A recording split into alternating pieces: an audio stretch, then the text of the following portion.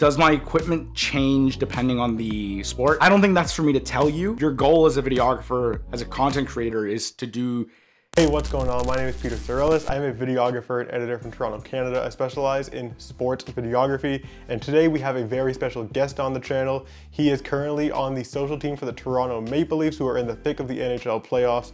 He is my former coworker with Ryerson Rams, where we shot a whole bunch of different types of sports content, and he is currently building his own YouTube audience where he is teaching the fundamentals of creating sports videos and gaining a career in sports content creation. Please welcome to the channel my coworker and good friend Juan Morales. Hey Peter, thanks so much for having me on the channel. I know this was a long time coming, partially my fault for being a little busy, but I'm glad we're able to finally collaborate and get on something together. Just a little introduction for those on Peter's channel who don't know me. My name is Juan Morales. I'm a 23-year-old content creator from Toronto, Ontario, just like Peter, and I specialize in videography and graphic design content. I've been creating sports content for the last three and a half, almost four years now actually. Uh, starting off at Ryerson, I was a video producer for their athletic department, and I was also very lucky to have an opportunity to work with MLSE as a video editor, and most recently I've taken on a role on the Toronto Maple Leafs social team as a social video content editor. So I got into creating sports content, like I said, during my time at Ryerson. I was able to apply and work with their athletic department as a video producer for three out of my five years in university. And honestly, those three years changed my life and changed the direction about everything I've wanted to do since. In this job, I was able to just shoot and create video content for all eight of Ryerson's varsity teams.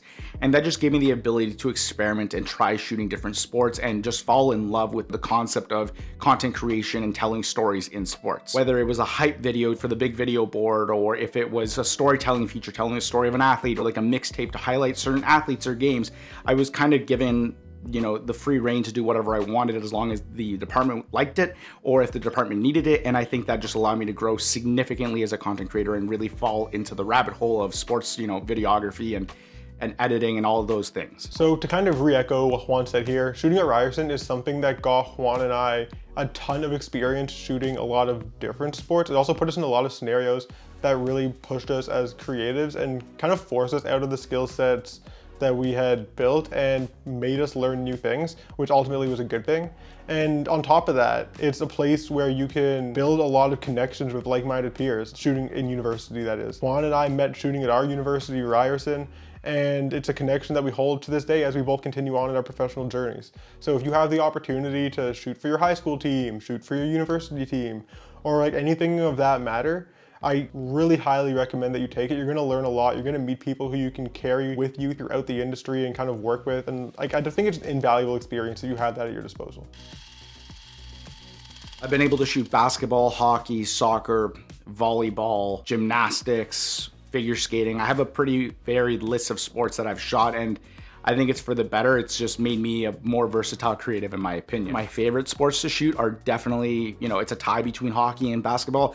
Before it was generally hockey, but once I got into basketball more and I learned about the sport more and especially getting to know the athletes on those teams at Ryerson at the time, like I fell in love with it. I haven't been able to shoot much of anything and I've, it's only really been basketball recently which again i love but I, I, can't wait to get back and start shooting other things again I, I miss hockey i miss volleyball i miss shooting soccer but i wouldn't say the skill set changes a lot between sports. I think, you know, videography and sports videography as a whole, uh, it's pretty streamlined across the board. I think, you know, not the skill set changes, but I think your knowledge of the sport has to change and you have to understand how different sports work. For example, the first time I shot volleyball, I've never watched the game. I didn't really know, you know, I know what happens in a volleyball game, but I didn't know the rules. I didn't know the positions. I didn't know very simple rules. And when I went back to edit that footage, it really showed because I obviously didn't have a knowledge of it. So I didn't know you know, where to point my camera, who to focus on, all about all those things. I was just kind of clueless at the time. But I think generally within shooting different sports, it, your goal as a videographer, as a content creator is to do, you know, to do your job no matter what it is, you know, capture scoring plays, capture moments, uh, shoot celebrations, anything you normally do, say shooting basketball, for example, because I know Peter's audience heavily is in the basketball scene. Taking that same principle to other sports, it's not that difficult. I think it's just understanding other sports and learning them that will make the big difference in your content. I think positioning and arena layouts and the environment is the other thing to consider when changing sports. Uh, because it very, very much can vary. For example, a court sport like volleyball or basketball, you're you can be right on the baseline. You can be right there in the action, right next to the athletes as they do their thing. That isn't always the case with something like soccer or hockey because the field of the rink layout, there's an environmental factor there. You just have to experiment and see what works and what doesn't. But I think understanding the sports and the rules and everything that happens in them, and as well as the layout and the environment you're in, definitely can make a huge impact on how your content comes out. Does my equipment change depending on the sport? It depends, to be totally honest. A 24 to 70 lens is universal. You know, it's such a versatile piece of glass. I have a Tamron 28 to 75 and I use it a ton for volleyball and I use it a ton for basketball just because it's a perfect all-around focal length. For soccer or hockey or even football, you can you can definitely use one, but since your proximity to the players change, the field of play is a lot bigger than a court, right? I remember shooting soccer on my 18 to 105 when I was on a crop frame and 105 is great, but when I ended up buying a 70 to 200, it just changed my world because I was able to get so much closer to the action while standing at the sidelines.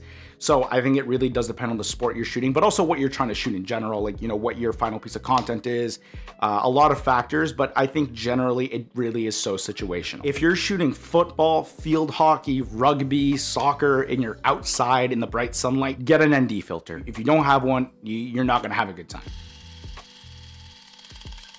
Should you shoot one sport or various sports? I don't think that's for me to tell you, but in my opinion, it just depends on what your end goal is and where you want to end up. A good example is actually, you know, you, Peter. You know, you're you're a basketball guy through and through. I know you've shot other sports and you, and you'll take the opportunity to do so, but you've built your brand and your style on basketball. And if you're subscribed to Peter, you obviously know like seeing his basketball related tutorials and videos.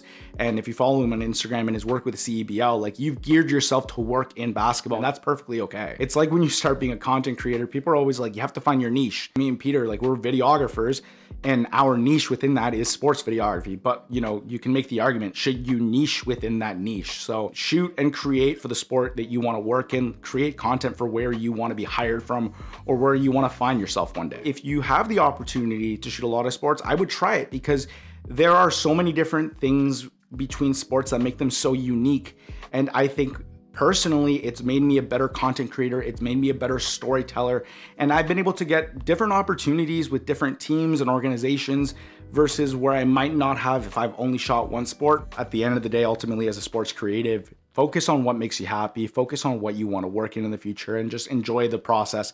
I don't think it really makes a huge difference if you're shooting one sport versus multiple or vice versa. Like you shouldn't worry about am I shooting too many sports or am I too varied? Like, you know, do what makes you happy and do what you can create the best content out of because at the end of the day, we're in this because we enjoy it and we have fun with it. So find what makes you happy, find what you enjoy creating and shooting and roll with it. And I think at the end of the day, it'll make you a much better creative for it. Just to conclude my part here, thanks Pete for having me on. I appreciate, you know, you bringing me on to the channel. A long time coming. I'm glad we were finally able to collaborate. I had a great time chatting with you about this topic. And guys, if you haven't followed Peter, if you haven't subscribed him, there's a big red button down there. Uh, I'm pretty sure his Instagram is in the description too, so follow Peter. And if you want to follow me on Instagram, uh, 77J Morales is my Instagram. It's also my Twitter. It's also my TikTok. My YouTube channel, also Juan Morales Creative. If you look it up, I hopefully, you know, Peter can put it down in the description below. But I would appreciate if you guys could follow, subscribe, trying to do very similar work to Peter and just help people grow in the sports creative space. I'm always down to chat, send me a DM. But yeah, thanks again, Peter, and I will catch you guys next time. Peace. Thank you so much, Juan, for coming on the channel. You dropped a ton of super valuable information throughout this video. I think that people are gonna love this. If you did like this video, Juan's socials are all in the links in the description. He said them all already, so they're all down there. And if you like my channel, and if you got this far in this video, I'm assuming that you do like my channel, then you're gonna like Juan's channel because he basically does the exact same thing as me. So you're getting like an extra upload every week. So go subscribe to Juan. And yeah, that's gonna be all for this video. So until next time, peace.